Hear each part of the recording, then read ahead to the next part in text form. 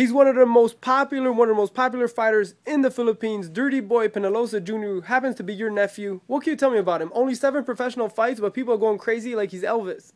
Oh yeah, I always give good fight. He give he wants the fans uh, who wants it uh, it's worth.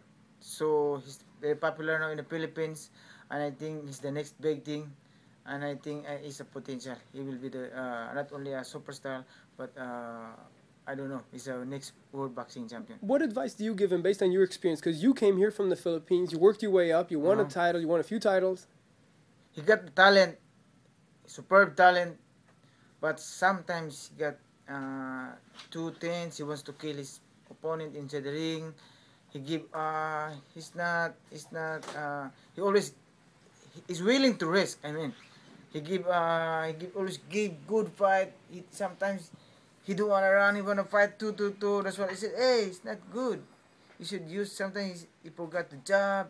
He always give fight, fight, fight. But only seven fights, so give him time. He'll Yeah, be- yeah, that's why. That's why uh, slowly, uh, slowly by slowly, and I think uh, two, two to three years from now, he'll be ready. Manny Pacquiao's coming back from Vegas to Los Angeles today. Uh huh. That's right. Are That's you gonna talk to him? Yeah, I'm going to uh, meet him, visit him, uh, say congratulations. He gave a good fight. Uh, but one thing I can tell you, Manny Pacquiao, he's not hundred percent on last fight. He's not? He's not. He's not. If he's hundred percent, I don't think uh, Marquez can handle it. I Why- don't know. Maybe no. Maybe it's it's not focused. Too many Or- distractions. That's what Coach Ben told me. Or I don't know. Maybe I think this a little bit overtrained. I don't know. I That Freddie said that, that maybe they did 10 weeks of sparring instead of six weeks.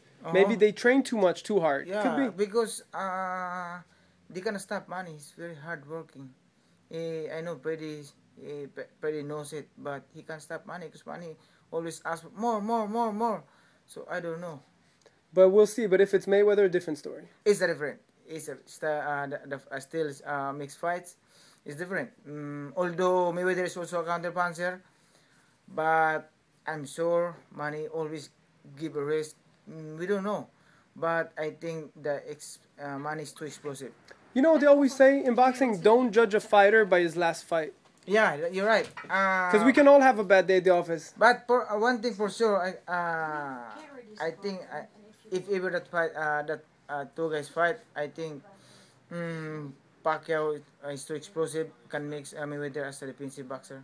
So I think uh, like what happened to Clottey, uh, just a little bit. There you have it. Gerry Penalosa. Look out for him. Stay tuned for more. ESNewsReporting.com. I'm Elie Seckbach reporting.